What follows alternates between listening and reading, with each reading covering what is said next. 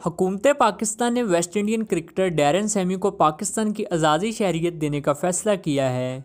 Pakistan cricket board के मुताबिक Darren Sammy को सदर ममलकत 23 मार्च को पाकिस्तान की आज़ादी शहरीत देंगे और पाकिस्तान का सबसे बड़ा सिविल एजाज़ भी दिया जाएगा। ये फैसला डैरन सैमी के पाकिस्तान क्रिकेट के लिए खिदमत के अतराफ में किया गया है। वाजह है कि डैरन सैमी पाकिस्तान आने पर राज़ी होने वाले इब्तदाई खिलाड़ियों में से एक थे।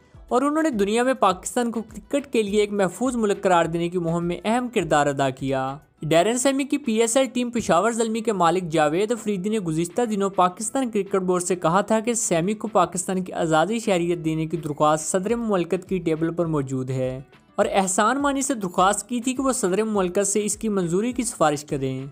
जावेद अफरीदी ने कहा था कि सैमी पाकिस्तान में सबसे मकबूल गैर मुल्की खिलाड़ी हैं और उनकी पाकिस्तान के लिए खिदमत काबिल कदर हैं। सैमी ने यह सब कुछ किसी ज़ाती मुफाद के लिए नहीं किया, बल्कि उनकी पाकिस्तान से मोहब्बत खालिश है। उधर Pakistan super league franchise Peshawar Zalmi के वेस्ट इंडीज से ताल्लुक रखने वाले कप्तान डैरन सैमी ने कहा है कि पाकिस्तान की शहरीत मिलना एजाज़ की बात है। डैरन सैमी ने कहा कि उन्हें पाकिस्तान से मोहब्बत के लिए यहाँ किसी पासपोर्ट की ज़रूरत नहीं।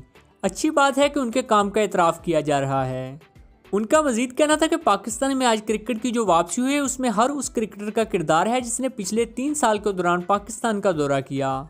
सैमी का कहना था कि उन्होंने पाकिस्तान के लिए जो कुछ किया, वो उनकी यहाँ के आवाम से लगाव और यहाँ से मिलने वाली मोहब्बत का नतीजा है। दोस्तों, अगर आप भी डेरन सैमी के फ़ैन हैं तो आपने हमें कमेंट बॉक्स में ज़रूर बताना है। तो मिलते हैं किसी नेक्स्ट वीडियो में, तब तक के लिए अल्लाह हाफिज़।